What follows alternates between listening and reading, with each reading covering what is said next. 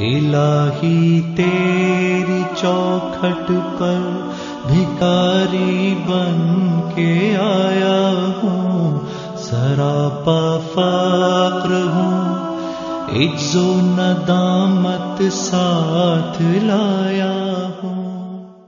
दुनिया भर के मुसलमानों की तरह आज पाकिस्तान में भी लाखों फर्जंदगान इस्लाम, रमज़ान मुबारक के आखिरी अशर में आलम इस्लाम की मगफरत के लिए एतकाफ में बैठ रहे हैं।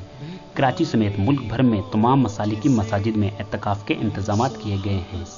जोहर की नमाज़ की अदायगी के बाद से ही मसाजिद में मुतकफिन की आमद का सिलसिला शुरू हो गया और मसाजिद में एतकाफ की तैयारियाँ मुकम्मल कर ली गई। रमज़ान मुबारक के आखिरी अशरे में, जो कि निजात का अशरा है मुतकफ होना, निजात के साथ साथ आका दो आलम सल्लल्लाहु अलैहि वसल्लम की सुन्नत भी है।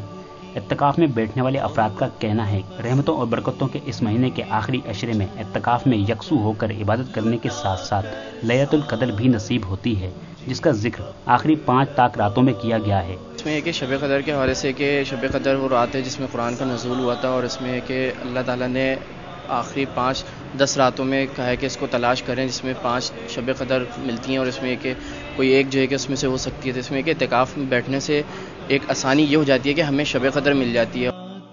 सरकार आलम वसल्लम ने फरमाया कि शब कदर को ताक रातों में तलाश किया जाए, जैसे इक्कीसवीं तेईसवीं पच्चीसवीं सत्ताईसवीं और उनतीसवीं रात में शब कदर को तलाश किया जाए। और जमहूर ओलमा का मौक़ ये है कि सत्ताईसवीं शब जो है माह रमज़ान की सत्ताईसवीं शब जो है ये शब कदर है। तो ये जो है बहुत अजीम एहतिकाफ़ की सुन्नत है कि इसमें जो बैठता है अल्लाह ताला की रज़ा और खुशनूदी हासिल करता है। आज दुनिया में कई हज़ारों लाखों मुसलमान लाखों मुसलमान जो है लाखों लाख मुसलमान एहतिकाफ़ की सादत हासिल करेंगे। बेशक रमज़ान मुबारक का पूरा महीना ही रहमतों और बरकतों का महीना है और इसके आखिरी अशरे में एतकाफ़ का एहतमाम उम्मत मुसलमा के लिए राय निजात और कामयाबी का रास्ता है। कैमरामैन याकूब बल्ती के साथ नवीद कमाल, मेट्रो वन, कराची।